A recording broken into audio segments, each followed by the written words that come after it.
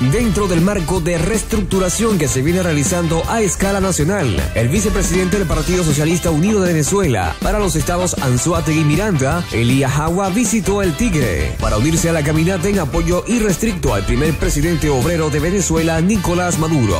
El vicepresidente del PSV, Elías Jagua, encabezó la caminata que realizó en el Tigre y que partió desde el antiguo terminal de pasajeros ubicado en la Avenida España, popularmente conocida como la esquina del luchador, hasta la Plaza Bolívar de la ciudad. Estructuras políticas asistieron a la actividad en la Plaza Bolívar, además de diputados regionales, alcaldes de la zona sur, concejales, estudiantes, consejos comunales, los CLAP, miembros del Partido Socialista Unido de Venezuela y el Poder Popular. La actividad contó con la musicalización de la banda municipal Luis Eusebio Colmenares y la presentación especial de la Escuela del Joropo Recio Pioneros del Llano.